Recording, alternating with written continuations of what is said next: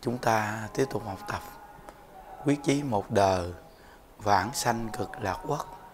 À, học đến tập 277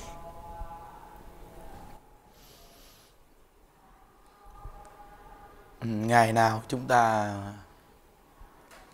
à, cũng gây dựng tính nguyện niệm Phật để quyết chí đời này à, nguyện sanh về thế giới Tây phương cực lạc à, ngày nào như thế cũng chia sẻ Phật pháp cho người trong chùa và Phật tử khắp nơi nơi được nghe. Có người à, hỏi cách này có người hỏi cách nọ đủ thứ việc để hỏi. Nhưng cũng nhờ có những câu hỏi. Mà khi những đức giải thích thì bản thân những đức cũng hiểu biết thêm. Và phật tử khi mình nghe có khi cũng trúng ngay việc của chính mình để được giải thích. Nó cũng hay lắm quý vị. Ừ. có một cô này cô đi làm cho người ta mà bán bánh canh cá lóc. Bán bánh canh cá lóc. Người chủ kêu cô à, đập đầu cá lóc. Trong khi cô thì biết niệm phật biết ăn chay, biết tu khi cô đập đầu cá lóc, thì đi làm cho người ta kêu mình làm phải làm chứ. Đập đầu cá lóc, mà cá lóc vẫn còn sống đập cái đầu nữa. Rồi cô niệm phật cho nó. Cho nó được giáng sanh. Cô hỏi, vì khi cô đập đầu cá lóc gì chưa chết, rồi cô niệm phật, đưa tiền nó đi cô có chịu quả báo hay không?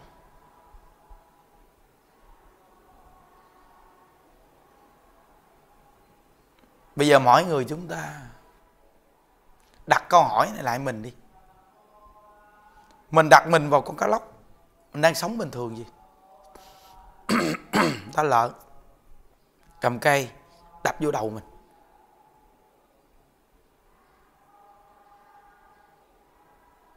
Bể đầu nhưng chưa chết. Rồi xong ta niệm phật.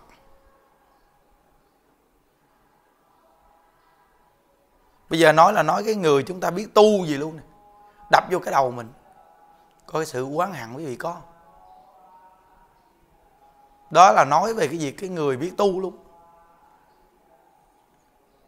Còn nếu nói về cái người mà không biết tu, bị nghĩ, họ quán hận cỡ nào chứ?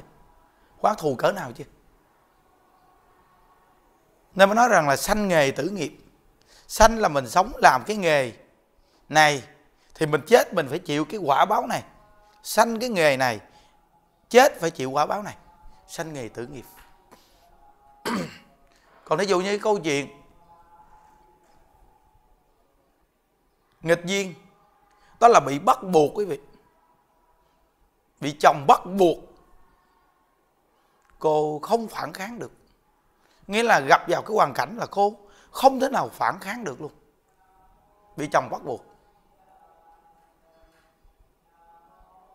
Nên cô ở trong hoàn cảnh đó, cô phải tu như vậy. Thì cô thành tựu rất đặc biệt thù thắng. Còn cái này là công việc nghề nghiệp mình có quyền chọn lựa. Mà mình lại làm ngay cái nghề đập đầu cá lóc. Trong khi mình nghe đạo, mình biết nhắn quả mình làm nghề đập đầu cá lóc thì vì phải chịu quả báo. Chắc chắn luôn. Không có cái lý tự nhiên đi đập đầu nó rồi đi niệm phật. Cho nó giảng sanh được đâu. Còn cái chuyện cái cô nghịch duyên là do gì? Chồng cô bắt buộc cô cầm chân heo. Còn chồng cô là người đâm heo. Cái việc này quý vị coi, cô không phản kháng được luôn. Còn quý vị có thể chọn cái nghề làm. Nhưng quý vị lại đi làm cái nghề đập đầu cá lóc thì bây giờ quý vị phải chịu thôi sanh nghề tử nghiệp, chịu quả báo.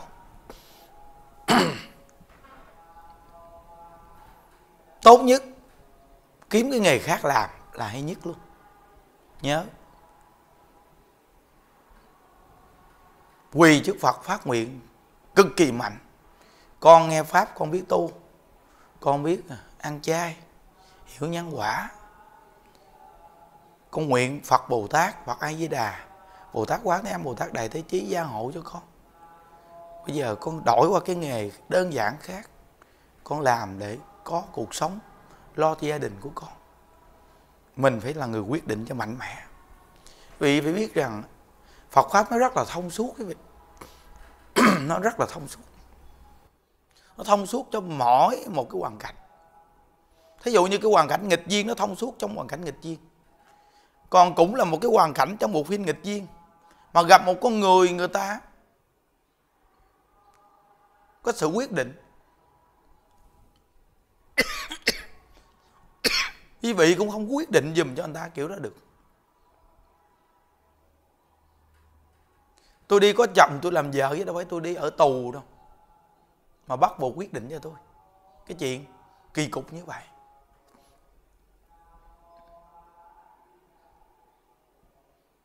Nếu gặp một con người người ta nhanh lẹ nhạy bén, người ta có đường hướng của người ta mà áp đặt người ta kêu đó, được không? Đố mà được. Không bao giờ được. Nên mới nói là Phật pháp nó thông suốt trong mọi hoàn cảnh. Quý vị, ở trong hoàn cảnh nào quý vị học Phật pháp, quý vị thông suốt được hoàn cảnh đó. Nên mới có câu nói rất là hay. Đức Phật Thích Ca Mâu Ni ngày đến thế gian giúp chúng sanh chuyển nghiệp lực trở thành nguyện lực chuyển nghiệp lực là cái việc này bắt quý vị vào cái nghiệp đó. Vì chuyển cái nghiệp này qua, thành nguyện lực cầu sanh cực lạc. Chỉ cần quý vị có cái tâm nguyện cầu sanh cực lạc cực kỳ mạnh, thì thời gian bị vượt qua còn mau hơn. Còn mau hơn. Giống như có ông chồng này, ông thương bà vợ này. Mà ông ghen tuông chửi bà vợ này hoài, chửi, ghen tuông, chửi, ghen tuông. Bà vợ này gặp những đức hỏi gì gì gì gì con mới làm sao? Nhưng đức nói cô nói thẳng với chồng cô chứ làm sao? Bây giờ tôi làm vợ ông, sống với ông, mà ông ghen tuông đánh đập tôi vậy. Kiểu này là thấy không có được. Tôi không có một cái gì tầm bậy tầm bạ chứ. Vừa học phật, vừa biết tu hành, làm tròn trách nhiệm, đi chùa không có một cái gì để ông ghen tuông tôi mà. Ông đánh đập tôi, bậy bạ cái này được. Nếu ông mà cứ cái đà này là tôi không đồng ý. Không chấp nhận được. Nếu mình có một cái nguyện cầu sanh cực lạc cực kỳ mạnh, mà gặp trường hợp như vậy, nếu như mình nhẫn mình chịu luôn thì cũng tốt. Chịu đựng thì chịu đựng lâu dài. Nó cũng sẽ chuyển nghiệp vì quý vị quá thương chồng không có buông được người chồng này. Thì quý vị cứ chịu đựng hoàn toàn niệm phật. Chuyển nghiệp không? Chuyển chắc chắn là phải chuyển thôi. Nhưng khi quý vị chịu cả một đời quý vị, vất vả, vô cùng. Nha. còn nếu như quý vị mạnh mẽ, dùng cái nguyện lực cầu sanh cực lạc cực kỳ mạnh mẽ, đến cái cuộc đời này gặp trường hợp gì? Giờ con muốn chuyển nhanh nhất được không thầy? Được. Bây giờ ông mà cái đà này ông sống tôi không sống với ông nữa.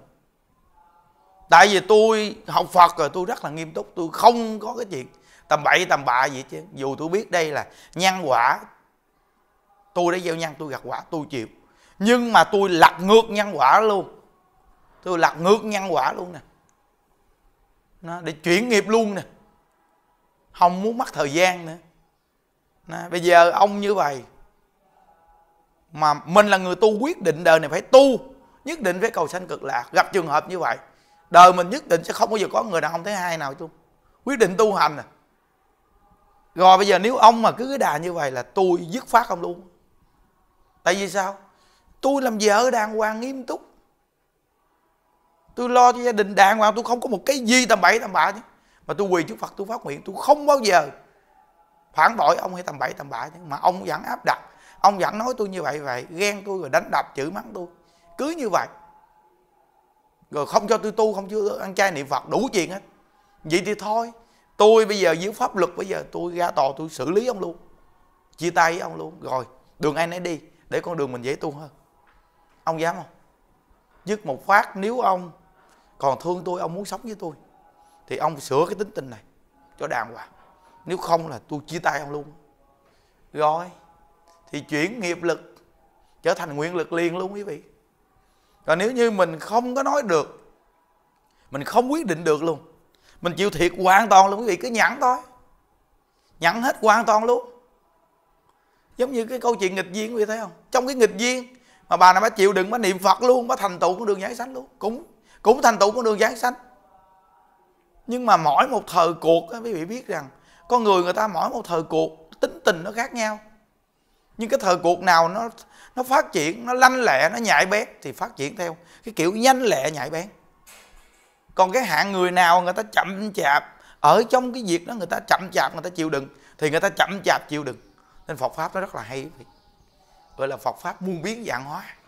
Nếu như quý vị học Phật mà nó có cái khả năng muôn biến dạng hóa thì thôi, quá đặc biệt, tuyệt vời. Cái hoàn cảnh nào xử lý cũng được chứ. Chỉ cần quý vị là người quyết chí niệm Phật cầu sanh cực lạc đời này phải tu hành. Nghĩ rằng cái mạng này còn bỏ, không chỉ là còn lo sợ cái gì. Thì tất cả nghiệp chướng gì nó cũng không có câu thúc được quý vị. Cái gì nó cũng thông suốt được cái chứ. Bất cứ cái gì cũng thông suốt được. Bây giờ quý vị này mạng còn không sẽ chết. Đừng nói chi của cái vật chất danh tiết hay cái bên ngoài gì mất công nó đi. Nên không ai buộc được quý vị chứ. Thì tức khắc nó chuyển nghiệp liền. Chuyển nghiệp liền. Con nghiệp nó cũng câu thúc ngay cái việc quý vị chịu đựng nó cứ đè, nhưng sẽ chuyển nó nhưng mà cực kỳ lâu luôn. Có khi nó cũng tạo thêm một đống nghiệp luôn. Nên từ nơi đó mà quý vị mạnh mẽ quyết định một cái, có khi chuyển hóa luôn vậy đó. nên nhưng mà quý vị phải nhìn được hoàn cảnh và nhìn được cái góc độ của mình nói chuyện. Cái quyết định của mình có góc độ cực kỳ sáng suốt. Thì cái sức mà chuyển nghiệp đó, nó còn cực kỳ nhanh đó quý vị rất là nhanh luôn. Giống như có người này họ ăn chay. Họ nói câu nói nè. Tôi ăn chay là tôi thích ăn chay là là phải chay chứ không có nói chuyện mà. Nói ăn chay mà còn kêu đồ chay là gà này kia đồ, kêu gì tôi không chịu chút nào. Những đức nói, bạn chịu không chịu là chuyện của bạn. Bạn vô duyên. Tôi nói, vô duyên thiệt luôn tôi nói thiệt chứ tôi ăn chay trường người ta ăn thịt. Cái đó cũng là cái quyền của người ta đừng nói chi mà. Người ta ăn chay mà người ta kêu cái đồ chay loại này loại kia loại nọ. Mình thiệt là vô duyên. Mình ăn chay mình có quyền. Bây giờ quý vị đi ăn tương vị đi ăn cháo ở ờ, ăn đi. Ngày xưa người ta ăn chay người ta kêu là ăn tương với quê miền tây như thế. Mặn lè rồi thêm một hũ chao mặn chát. Tới giờ ăn kiếm trái chuối và hương rồi ăn, rồi ái miếng tương chan vô ăn. Ăn heo, hút, ốm nhơ ốm nhách còn mà thời cuộc đó phát triển, người ta ăn chay nó ngon lành hơn, tiện bề ăn uống hơn. Còn mình mà ăn được ăn tương, ăn chao thì mình cứ ăn đi, mình ăn rau mình cứ ăn đi. Còn người ta ăn, người ta kêu con gì đó, cái chuyện của người ta kể người ta. Miễn người ta ăn chay là được rồi. Cả bây giờ quý vị ăn chay mà người ta ăn đồ mặn, cái chuyện cũng của người ta nữa quý vị được quyền khuyên người ta nhưng quý vị không được quyền đụng chạm vào cái việc ăn uống của người ta. Quý vị phải nhớ. Về định lực nhân quả, mình có thể nói về cái nhân quả sát sanh. Nhưng quý vị không có cái quyền để quyết định cái chuyện ăn uống cho người ta đó quý vị nên bản thân có nhiều người tu mình. Có khi bản thân mình tự chuốc cái khổ cho mình. Như đức học phật, như đức thấy gì sao mà càng học càng vui. Bao nhiêu hạng người, bao nhiêu con người ở trong chùa này đông vậy? Mà như đức giải quyết vấn đề con người mà như đức lại lại không có phiền não là như đức hiểu rồi.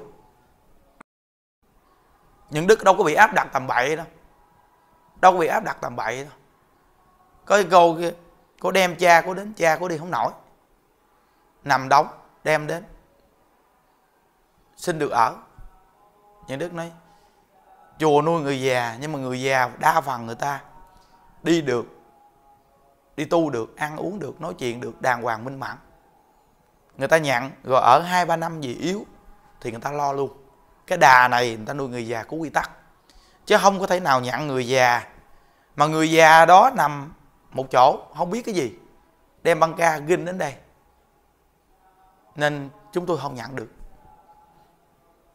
Thì cái cô kia nói một câu, thầy ơi quý thầy tu hành, với thầy từ bi một chút đi. Quý thầy đã nuôi người già thì giúp giùm cho cha con đi. Thì những đức nói một câu cái câu này những đức nên phiên cố. Cô làm con, cô nên mở cái tâm từ bi ra đối với cha cô đi. Vì cha cô sanh, cô nuôi cô không lớn chứ không phải sanh những đức, nuôi những đức không lớn. Trách nhiệm này là cô gánh đó, chứ không phải cô đẩy cho những đức đâu. Những đức có quyền gánh, những đức có quyền không gánh. Đây là quyền quyết định của những đức. Còn cái việc cha mẹ cô già yếu trách nhiệm là của cô. Cô lo như thế nào đó là chuyện của cô còn việc của những đức những đức có quyền quyết định nhận hay không nhận. Nhưng việc những đức không làm được những đức sẽ không bao giờ làm. Còn cô có nói từ bi hay không từ bi, chuyện của cô. Còn cô hãy tự suy nghĩ lại. Bộ phận làm con, cô làm gì đối với cha mẹ cô? Còn việc này, đối với tình lý, cô không có quyền nói những đức bất cứ cái gì hết. Vì đây là cha mẹ của cô. Nói một cái đơ luôn. Hiểu thấy không? Nếu không thì người ta áp đặt mình rồi. Hoàn toàn ta áp đặt mình mình lại là con người bị bị bị bị chịu thiệt và ấm ức. Còn người ta, ngày xưa người ta chịu thiệt, người ta không ấm ức một chút nào luôn. Thì được. Còn chịu thiệt để ấm ức. Tôi không dạy gì để làm chuyện đó đâu. Không dạy gì làm chuyện đó đâu, quý vị. Nên tôi nuôi bao nhiêu con người, tôi thoải mái cái tâm tôi. Là những gì tôi làm được là tôi làm. Tôi làm không được, đừng mong ép tôi mất công đi. Nên Phật pháp muôn biến dạng hóa vì thấy chưa?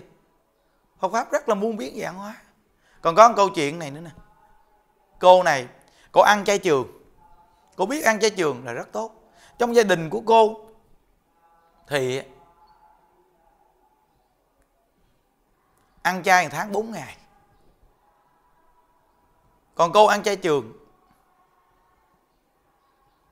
rồi sanh ra con nhỏ ra, thì cô biết ăn chay trường nó rất là tốt. Cô muốn cho đứa con cô cũng ăn chay luôn. Nó cũng rắc rối chuyện trong nhà này kia cô hỏi những đức. Bây giờ con là mẹ của con con, mà con không giúp cho con con ăn chay luôn, mà để cho con con ăn mặn, cho chồng con và gia đình bên chồng con. Cho con có ăn mặn vì con có tội hay không thầy chúng ta hãy phan, hãy nói cái chuyện này. Cái quyết định vẫn là bản thân của cô, là cô ăn chay trường được là bản thân của cô. Là vì cô lớn rồi cô quyết định được cái chuyện này cái quyền này là cái quyền quyết định của cô miễn là cô làm tròn trách nhiệm làm dâu con, làm chồng, làm vợ vậy đó. Thì cô làm tròn trách nhiệm của cô thôi. Thì cái chuyện này người ta đã không áp đặt, không cản được cô à. Việc này cô có tiếng không có dạy gì. Tự nhiên mình đang ăn chay vậy, cái bắt mình phải ăn mặn, ăn thịt. Không có cái chuyện đó đâu. Câu chuyện nghịch duyên đó là câu chuyện của nghịch duyên.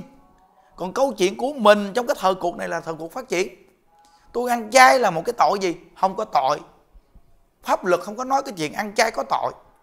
Miễn làm tròn trách nhiệm của gia đình làm tròn trách nhiệm làm vợ làm chồng làm con đàng hoàng.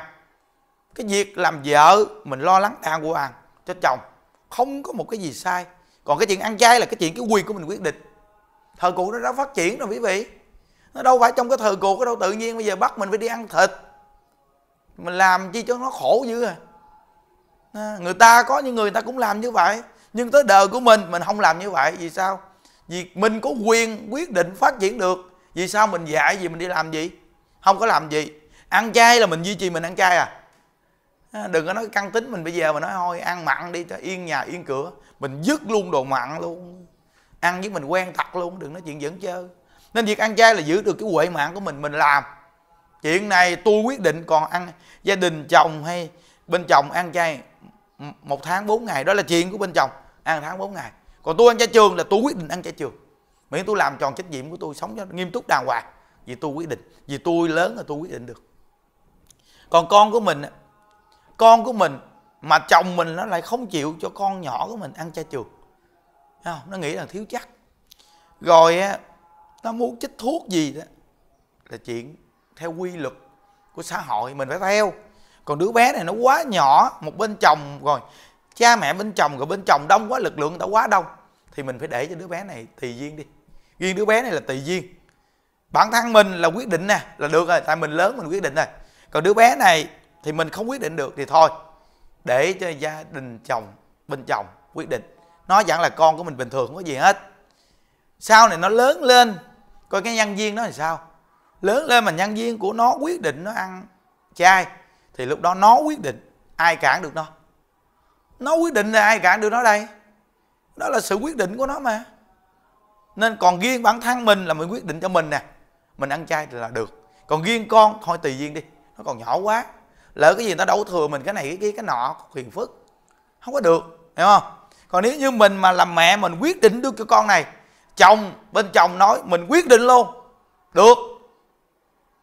Không dám nói đến mình luôn, thì mình quyết định cho con mình luôn sự quyết định được thì mình quyết định cho con mình con tôi.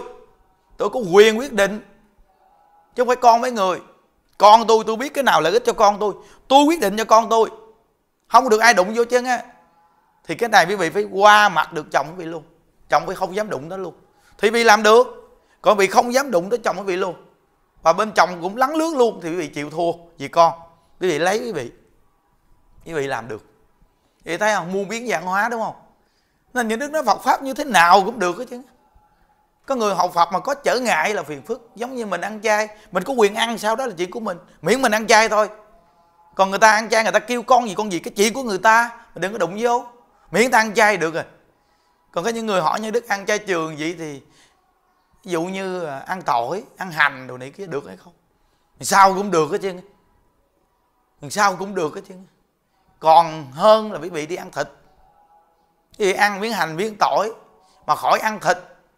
Còn quá đặc biệt hơn quý vị đi ăn thịt. Còn nếu như quý vị ăn chay chuyên nghiệp rồi, ăn chay đến mức mà lão luyện rồi, thì khỏi ăn hành tỏi. Còn người ta mới ăn chay thì người ta ăn hành tỏi kệ người ta. Miễn ăn chay trường được là tốt quá rồi. Vì cấm không cho ta ăn hành tỏi, người ta đi ăn thịt. Quý vị đặt lên bằng cân nặng nhẹ đi, rồi nhận thức, đúng không? Quý vị thấy rằng Phật pháp nó rất là thông suốt luôn quý vị à có nhiều người học Phật, gì được, gì không được không được không được. Tùm lum thứ không được. Những đứa không có thấy cái thứ gì mà học được cái nhân, cái quả, tùy duyên mà phát triển. Nên từ nó nó thông suốt cái tâm bởi vì tu hành, nó tự tại biết nhiều nói. Tự tại quá trời tự tại luôn. Nó giống như cái bà này, bà nuôi ông chồng bà. Ông chồng của bà nằm có một chỗ à. Ông nằm có một chỗ mà. Mà ông chữ, trời ơi, ông chữ kinh khủng luôn. Đưa tay ông quýnh mà bịch bịch bịch bịch bịch bịch trong khi bà nuôi ổng bà bộ đau khổ bà buồn bà chán, đừng có nói nữa.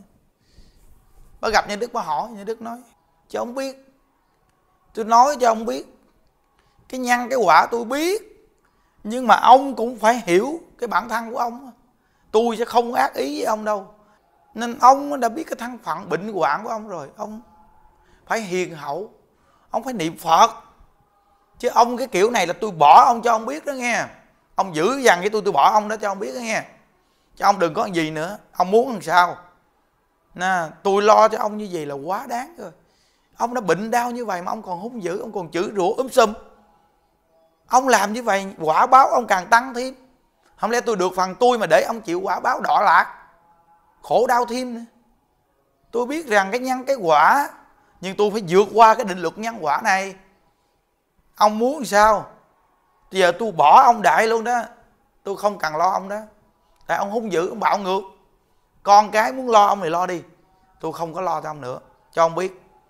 Dứt một phát một cái ông đó từ đó về sao hiền luôn. Không dám cái gì chân luôn. Bây giờ với lời cảm ơn những đức quá trời luôn đấy trời ơi, nhờ thầy chứ thôi ổng quá trời hung dữ luôn. Đúng là thế chứ. Mình khỏe mạnh, mình là người quyết định được. Vậy mà không quyết định giùm cho người ta. Như những đứa ở đây quyết định được người trong chùa những đứa quyết định hết trơn mới thấy chưa? Càng ngày càng tốt thêm. Còn giờ nó trả, trả nợ trả nợ là trả theo theo mỗi thành phần mỗi nghiệp viên khác nhau kìa. Chứ còn cái chuyện này nằm một đống còn có cái tay quơ quơ vậy thôi còn cái miệng mà còn hung bạo chữ tá lạ âm binh. Nó gầy một phát la một phát. Bỏ đói một bữa hai bữa cho mà biết rồi xong. Từ đó về sau nữa nếu mà ông làm như vậy là con cái nó lo cho ông sao? Là kệ ông đi. Tôi là tôi bỏ ông đó rồi con cái nó đi sớm về muộn nó bỏ, nằm đơ đó. Rồi ta, nếu ông muốn tôi chăm ông ông phải nói cho đàng hoàng. Rồi từ hôm nay, ông phải nghiêm túc lại đi, rồi tôi chăm. Nếu không là tôi bỏ ông luôn. Hăm dọ một phát, một từ đó sao xanh mặt xanh mày rồi, tiện bề.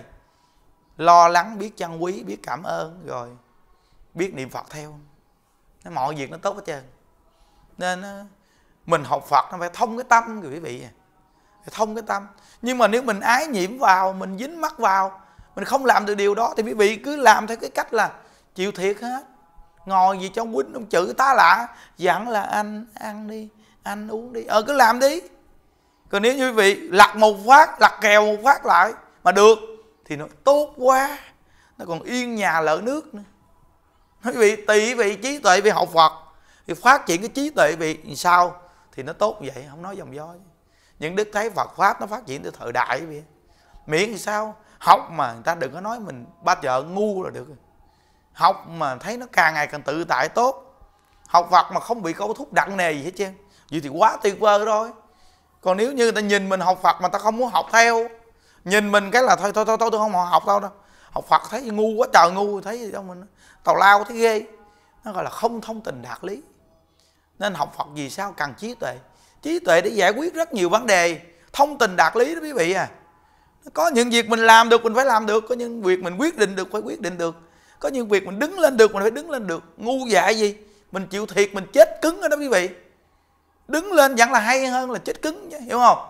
Nên mình phải nhìn vào hoàn cảnh nhìn vào địa thế nhìn vào cái việc làm của mình để mà mình phát triển. Đó, như nãy câu chuyện đầu tiên đó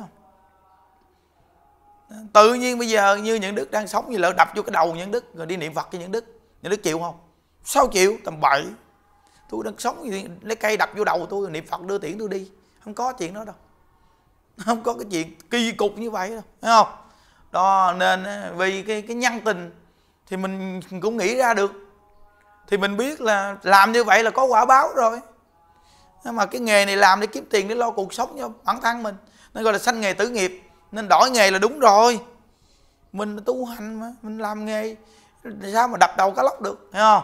Còn người ta ở ngoài đời, người ta không có tu hành, ta làm gì thì được. Chuyện của người ta, nhân quả ta tự chịu.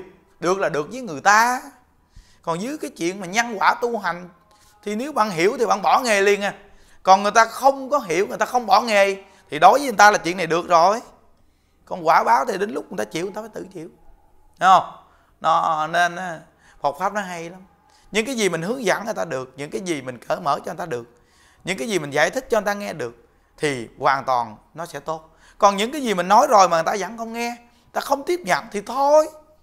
Nước sông không phạm, nước giếng, chuyện ai thì nó làm thôi chứ. Rất là tự tại, vậy thấy không? Rất là tự tại, có bị câu thúc gì không? Đó, nên quý vị hầu phật làm sao mà bị thoáng được cái tâm kìa.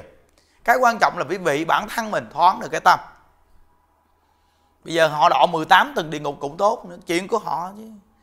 Còn bây giờ họ muốn mình giúp họ kéo lên thì mình kéo lên. Chỉ họ cái con đường là đứng lên. Còn họ muốn đi xuống 18 tầng địa ngục tốt mày đi đi. Chồng vợ con gì cũng vậy mày muốn nhào vô 18 tầng địa ngục thì mày xuống dưới đó. Quý vị mà học Phật đạt tới trình độ mà không còn bị ái nhiễm gì nữa thì cái gì mà không giải quyết được? Nhưng mà do mình trong cái ái nhiễm ngu si mình không biết nên mình tho, không thoát ra được thì quý vị gán chịu nó học Phật là học trí tuệ bởi vì bị câu thúc gì?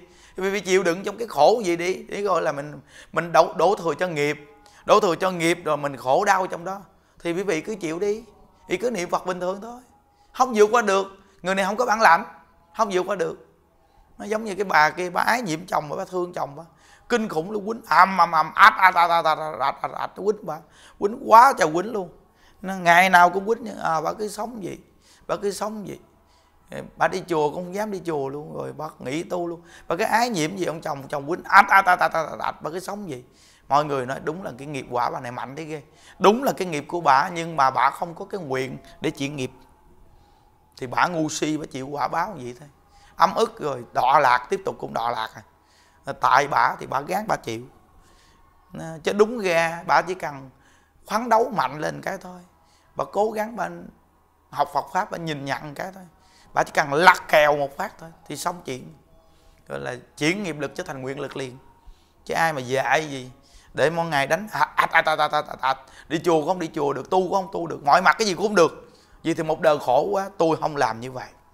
Tới đời của tôi tu hành, tôi không làm gì. Không có chịu đựng kiểu tầm bậy cái đó được. Cái gì mà đứng lên được là đứng lên, cái gì phấn đấu được là phấn đấu. Tu là phải tu còn cái chuyện của thế gian hiện tại mà thời cuộc phát triển mình phải theo cái thời cuộc trí tuệ chứ, để cho ta thấy được con người mình học Phật thoát. Mọi mặt đều rất đặc biệt. Phải học Phật là học khổ đó quý vị. Học Phật là học tự tại chứ làm gì học khổ. Những đức học Phật đâu có thấy gì khổ đâu. Rất là vui vẻ, rất là tự tại. Hướng dẫn quý vị cũng thấy tự tại. Nên những đức mong hàng Phật tử mà những đức hướng dẫn, phải thoáng cái tâm. Cả bạn bè chơi chung gì nữa thích phải không? Tôi với chị tôi với anh chơi chung nha chúng ta chơi chúng nhau đặc biệt. Chị không thích không thích thì thôi. Mỗi người lo niệm phật mỗi người lo tu đi. Tôi sai tôi xin lỗi xin lỗi cái xong rồi đó. Tôi xin lỗi rồi đó từ đây sau tôi gặp chị. Ai với đạo phật ai với đạo phật. Chứ tôi không có nói rằng tôi với chị phải thân với nhau chơi chung với nhau nữa. Nếu như cái tính tình như vậy chơi chung với nhau nữa cũng nặng nề làm gì? Rồi được rồi trước nhất là tôi thoáng cái tâm của tôi rồi xong rồi đó. À, rồi chị mà muốn chơi chung với tôi thì chị đến với tôi tôi chơi với chị. Còn chị không đến với tôi thì thôi mọi người chúng ta nước sông phạm nước giếng mọi người mình lo tu lo niệm phật. Còn cái gì mình sai mình đã, thầy đã nhắc rồi. Mình sai mình đi xin lỗi người ta sám hối với người ta. Rồi xong thoáng cái tâm mình trước. Còn người ta thoáng không thoáng đó là chuyện của người ta. Cái tâm người ta người ta có quyền quyết định. Cái tâm của mình mình có quyết định. Còn con người mà nó, nó nặng nề nó, nó nó cái này cái kia gì mình đã biết lần từ đó vì sao? Thoáng được cái tâm mình rồi mình cũng tránh xa bớt. Chứ dính vô mai mốt nó gì nữa thì sao? Thấy không? Thì thấy tự tại ghê không? Chơi cũng được, không chơi cũng được. Thăng cũng được, không thăng cũng được. Đến cũng được, không đến cũng được.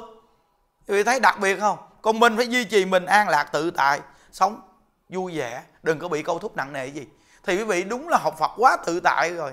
Nghiệp gì mà không chịu. Còn mình bây giờ cái gì cũng lo, cái gì cũng sợ.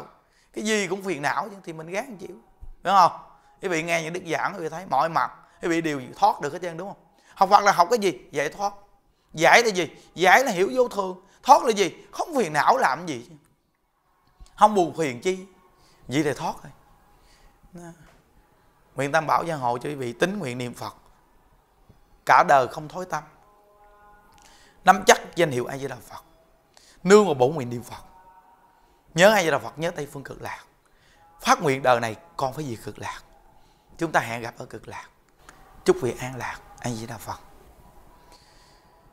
nguyện à, đem à, công đức à, này hướng về khắp tất cả đệ tử và chúng sanh.